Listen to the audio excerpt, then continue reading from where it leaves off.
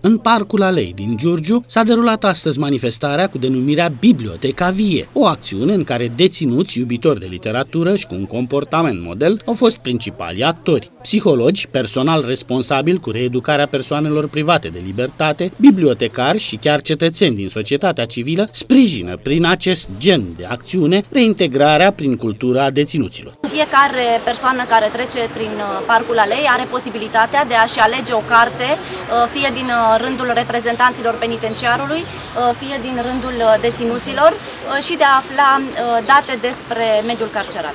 Scopul activității este de a conștientiza opinia publică cu privire la importanța activităților de reintegrare socială din penitenciare, oarecum să schimbăm percepția societății civile despre importanța și rolul nostru în sistemul penitenciar din România. Este o acțiune extraordinară și cred că fiecare dintre noi uh, este o carte, este o realitate, că fiecare dintre noi ne-am spus măcar o dată în viață că viața noastră este un roman.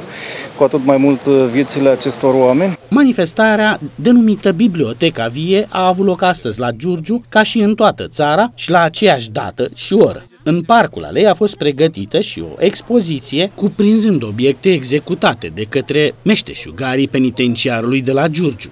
Acțiunea, cu un caracter public, se înscrie în rândul acelora care vizează reintegrarea socială a deținuților.